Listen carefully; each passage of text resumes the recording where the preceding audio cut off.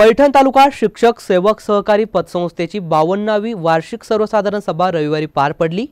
यावेळी आमदार संदीपाम भुमरे यांची प्रमुख उपस्थिती होती. यावेळी प्रमुख पाहुणे म्हणून जिल्हा दूध संघाचे उपाध्यक्ष नंदलाल काळे अंकुश रंदे बळीराम आवटे अरुण काळे उपस्थित होते.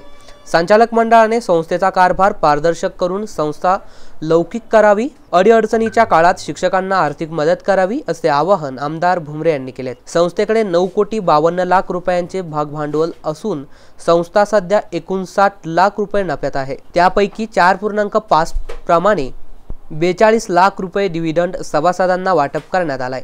तर संस्थेचे सभासद सातशे सत्तावन्न आहे. संस्थेचा कारभार सर्व शिक्षक आणि संचालकांना विश्वासात घेऊन सुरू असल्याने प्रगती होत आहे असे पतसंस्था अध्यक्षा श्रीमती अलकनंदा नागरगोजे यांनी सांगितले. यावेळी उपाध्यक्ष आत्मराव गोरडे सचिन विष्णू भंडारे आदींसह तालुक्यातील शिक्षक उपस्थित होते. Dadasaheb Ghodke M C N news Paithan.